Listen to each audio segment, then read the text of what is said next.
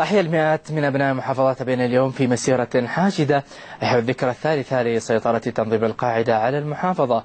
وفي المسيرة التي طافت عددا من شوارع المدينة رفع المشاركون الشارات والأعلام والبطائق الحمراء تعبيرا عن سخطهم على الأوضاع المأساوية التي تعيشها المحافظة عقب تدميرها في الحرب على القاعدة وعدم استكمال التعويضات للمتضررين جراء هذه الحرب. ودعت المسيرة التي شارك فيها أعضاء المجالس الأهلية ومنظمات المجتمع المدني وقادة المشترك وشباب الثورة في المحافظة ووصلت إلى أمام مبنى المحافظة بمدينة زنجبار.